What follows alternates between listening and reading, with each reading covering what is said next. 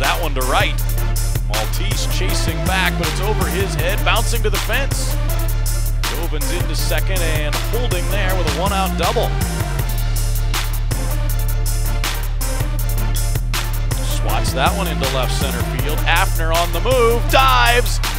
He got it. Like his guys to get some offense going here, and Marcus Wheeler's aboard to open the seventh. A liner off the glove of the shortstop. Short, right through X legs. More good luck for the Jayhawks. Now the 3 2 line, base hit. Schinkel stopped initially. Now he starts up again and scores as the throw goes to third, and the Jayhawks are on the board. Fitted offensively, he's been good defensively too, and he lines it right back to Ralston. Inning over. Two strike pitch. After gets the bat on it, drives it to left center, but it'll hang up for Cashel, who goes back, makes the grab. A run will score.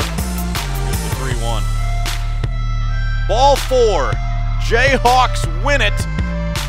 It's a walk-off walk, and KU wins the home opener 5 to 4.